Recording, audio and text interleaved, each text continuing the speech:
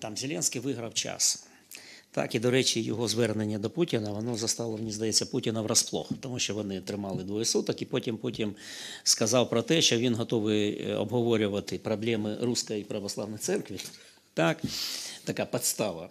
Е, Ось. І, да. У них є проблеми. Ні, ну, ні, ну, на Кирила у нього все окей. ні, ні, ну проблема РПЦ він мав на увазі е, московський розумію, патріархат, так, е, о, така підстава. Так, і рускоязичних в Україні. Ну, ТНР, ЛНР це теж рускоязичні в Україні, до речі.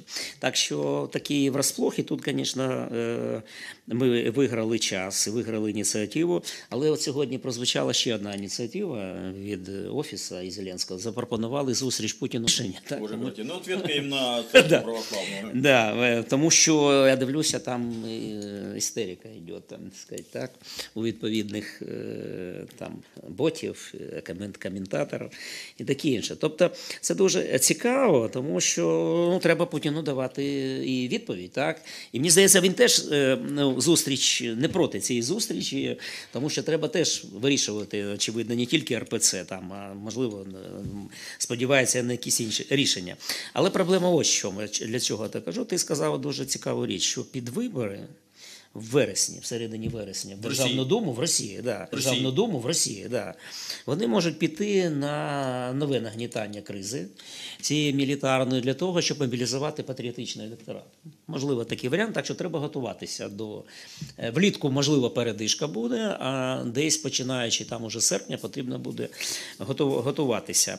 Так, тим більше там е, я не думаю, що ну що у них будуть проблеми, як вони будуть реагувати там на Кримську платформу, взагалі на святкування 30-річчя. Розумієте, спочатку це ж вони розглядали як недорозуміння, все так. А 30-річчя незалежності це ну, достатньо таки важлива символічна е, дата і віха, і так далі. Так далі. Ну, це рекорд в українській історії. Да, да, ні, так а це все вже, це вже без, безповоротнє, як так скажуть, незворотньо.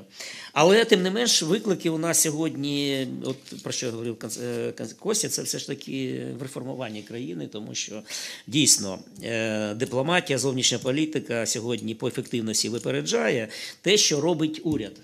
Те, що робить уряд.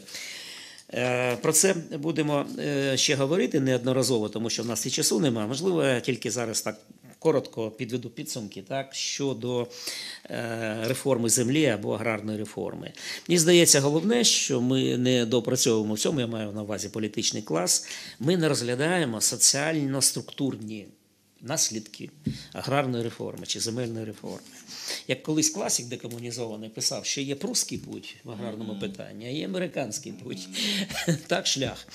Ось. От ми головне, щоб ми пішли правильним шляхом, тому що є, залишається русський путь аграрної реформи, про те, що ти казав, ну такий латиноамериканський, русський путь, латифундії і тому подібне, і так далі. А є європейський шлях.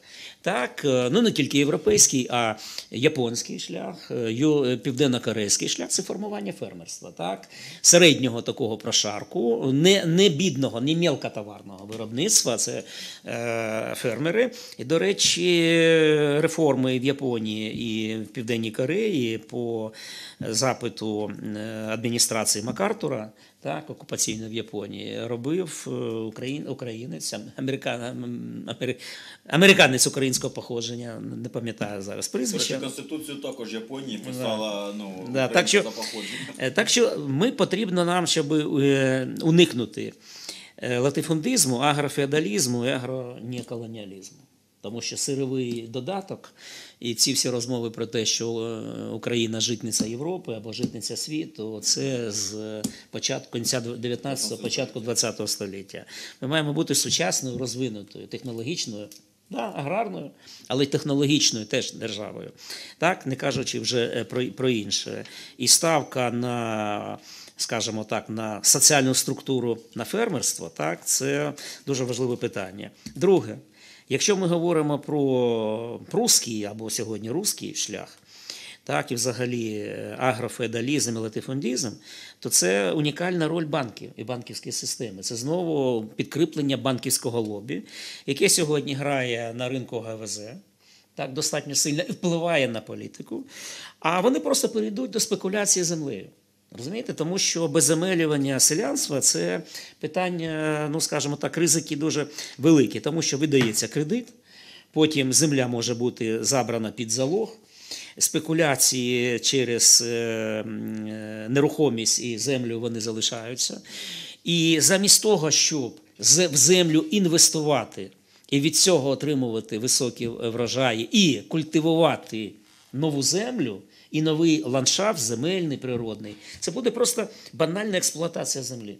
Банальна експлуатація землі або агроолігархами, або банками, і буде злиття, як колись е, теж писав той же класик, було злиття банків і промислового капіталу. Так може бути злиття банків і аграрного лобі. До речі, яке вже давно проявило свої політичні апетити. Дивіться, а е, скільки було в нас е, намагань створити селянську партію?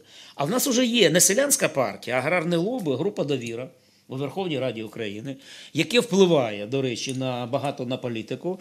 До речі, ті ж, е, про що говорив Сольський, голова комітету з е, земельних питань, да, як вона там називається, це теж е, ну, представник. Цього лобі. Так що це вже, знаєте, депутатська група, а потім це можна і створити достатньо потужне таке аграрне лобі.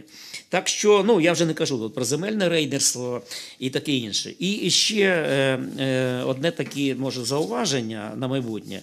Ми звикли, що політика в нас робиться там в столиці, що політика, у всіх розумінні це слово, політичне, соціальне життя це Верховна е, Рада України і таке інше. А на тлі ось проблем з земельною реформою, ринком землі і так далі. Сьогодні політика вона на містах, там, де земля.